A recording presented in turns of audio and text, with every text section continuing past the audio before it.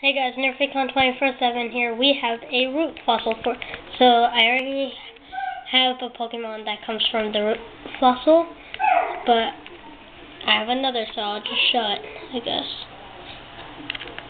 It's a Lileep. Thanks for watching.